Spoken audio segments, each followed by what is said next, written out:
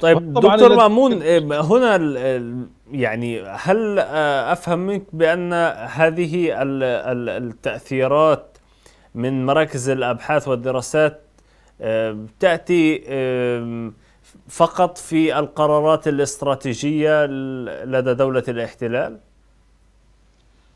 لا يعني إذا كان في القرارات الاستراتيجية موجودة في القرارات التكتيكية كما قلت يعني موجود آه، جزء منها ولكن صناعه صناعة القرار السياسي هي أيضا آه، طبعا في قرار صناعة القرار السياسي أيضا مرتبط آه، كثيرا أحيانا باخذ المشورة نعم. من من هذه المراكز يعني صحيح. يعني هو طبعا ما ما يدور في في القرار السياسي أن هذه الأوراق تطلب من هذه المراكز تقديم توصيات توجيهات طيب. آه، لصناع القرار لكن صناع القرار أحيانا يأخذ بعضها واحيانا لا يطبق لا يطبق بعضها واحيانا يرفضها كلية حسب توجهات الحكومة ومدى توافقها مع الرأي العام.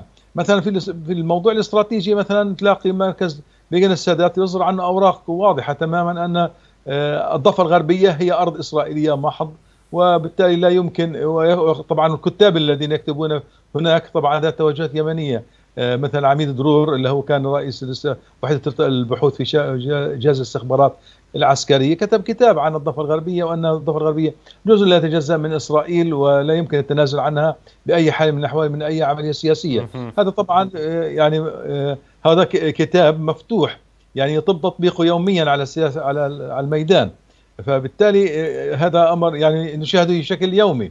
آه، التوجهات حول مسيره توصيات مثلا أحيانا لا لا يؤخذ بها نجد مثلا مركز الأمن القومي يعطي توجيهات بتخفيف الضغط على غزة يعطي توجيهات بإعطاء يعني أقوى يعني السلطة الفلسطينية نعم. ورفع مثلا مساعدة السلطة الفلسطينية على أن تكون لها آه، دور سياسي أكثر مما يعني من التعامل معها على أنها على أن يكون دور أمني أو دور اقتصادي وبالتالي مطالبة يعني أحيانا تكون مطالبات واضحة من الباحثين الكبار الباحثين في المركز بعدم يعني عدم التضييق للسلطه الفلسطينية أعطاها مجال فضاء سياسي أوسع الا أن هذا الكلام لا يطبق نعم. مثلا نعم.